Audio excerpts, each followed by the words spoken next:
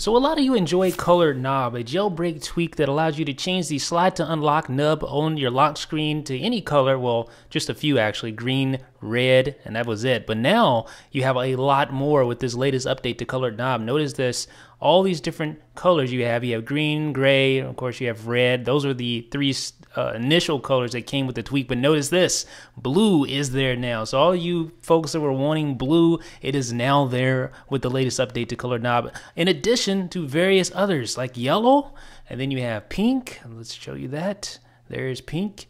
Uh, let's switch to the next color is violet, like a purple color, just like that. And we have a few more to go through. There's black. I think that looks pretty cool, actually. I like that one. And then you have light blue. Not digging that too much, but some may.